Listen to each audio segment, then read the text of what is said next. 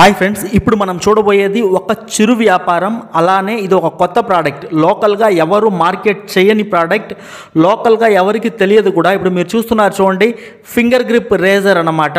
అంటే షేవింగ్ చేసే వాళ్ళు ఇప్పుడు డైలీ ఆఫీస్కి వెళ్ళే వాళ్ళ నుంచి ఎగ్జిక్యూటివ్ జాబ్ ఎవరైతే చేస్తున్నారో రెగ్యులర్గా షేవ్ చేసుకుంటూ ఉంటారు నీట్గా సో చూడండి అటువంటి వాళ్ళకి ఇది డిఫరెంట్ టైప్ ఆఫ్ రేజర్ నార్మల్గా షేవింగ్ రేజర్ ఎలా ఉంటుంది? చేత్తో పట్టుకోవాలి కదా.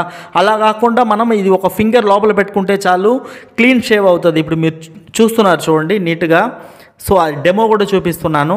ఫ్రెండ్స్ ఇటువంటి ప్రోడక్ట్ అన్ని లోకల్గా దొరకదనమాట సో ఈ వీడియోని క్లియర్గా చూడండి అప్పుడే మీకు అర్థమవుతుంది.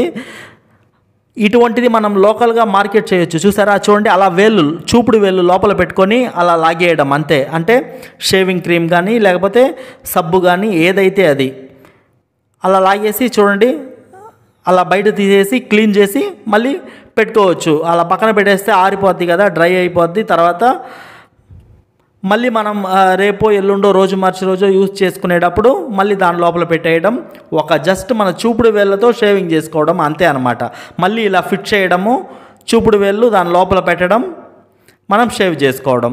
చూసారు కదా ఫ్రెండ్స్? ఇదనమాట కనుక సేమ్ ఇటువంటి బిజినెస్ మనం కూడా అంటే ఇవి తీసుకొని వచ్చి లోకల్ మార్కెట్లో దీన్ని మార్కెటింగ్ చేయొచ్చు మనకి. చాలా పెద్ద మొత్తంలో ప్రాఫిట్ వస్తుంది. ఎప్పుడైనా కొత్త కొత్త బిజినెస్ కాన్సెప్ట్ ఎంచుకోవాలి. కొత్తగా ఏదైనా ప్రోడక్ట్ మార్కెట్ చేయాలి అనుకోండి అది కూడా ఇలా తక్కువ రేటుకి. కొత్తగా మార్కెట్ చేయండి అని అది ఏదో పెద్ద వేల రూపాయలు లేకపోతే లక్షల రూపాయలు అంటే ఇబ్బంది కానీ ఇటువంటిది పెద్ద విషయం కాదు. మనం ఎంత అంటే దీంట్లో వాడే మెటీరియల్ని బట్టి రేట్ అనేది ఉంటుంది. దానికి నేను రేట్ చెప్పలేదు. మీరు ఇండియా మార్ట్ వెబ్సైట్లో చూడండి. ఇటువంటి రేజర్ మీకు మెటల్ అంటే దాంట్లో వాడే మెటీరియల్ని బట్టి different different suppliers different different rate అయితే మెన్షన్ చేస్తున్నారు. మీరు చూడండి ఒక పది మందిని సంప్రదించండి. ఎవరు తక్కువ రేటుకి ఇస్తున్నారో మీకు.